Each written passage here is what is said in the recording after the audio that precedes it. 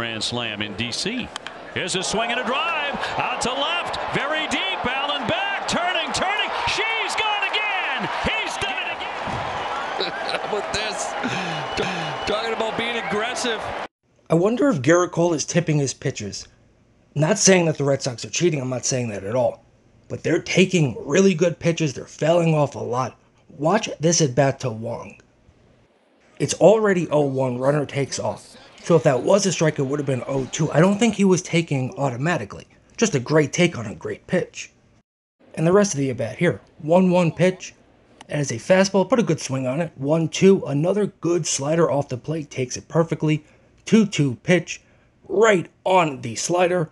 2 2 again, fastball right on it. 3 2 here. This might be the best pitch on the 2 2, just off the plate. Great take. And then on the 3 2, goes with it 6 0 Boston. Do you think Gerrit Cole is tipping his pitches? If so, how, where, and can you pick up on it? This is Darren with Grunt Baseball. I will talk to you guys later.